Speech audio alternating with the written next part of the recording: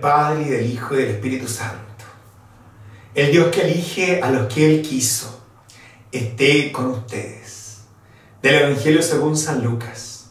Jesús se retiró a una montaña para orar y pasó toda la noche en oración con Dios. Cuando se hizo de día, llamó a sus discípulos y eligió a doce de ellos, a los que dio el nombre de apóstoles. Simón, a quien puso el sobrenombre de Pedro, Andrés su hermano, Santiago, Juan, Felipe, Bartolomé, Mateo, Tomás, Santiago hijo de Alfeo, y Judas Iscariote que fue el traidor. Al bajar con ellos, se detuvo en una llanura.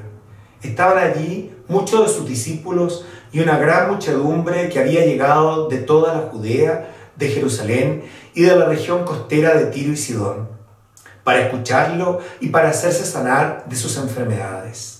Los que estaban atormentados por espíritus impuros quedaban sanos y toda la gente quería tocarlo porque salía de él una fuerza que sanaba a todos.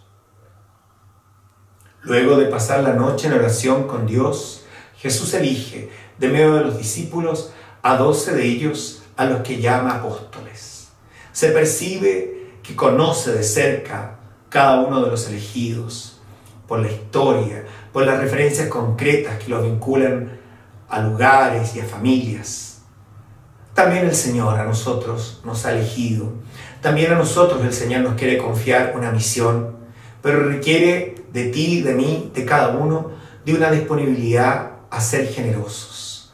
Pidámosle al Señor, al dueño de la mies, que sigue llamando, que encuentre corazones valientes y disponibles de hombres y mujeres que dejando otras opciones, opten y hagan suya la elección del Señor.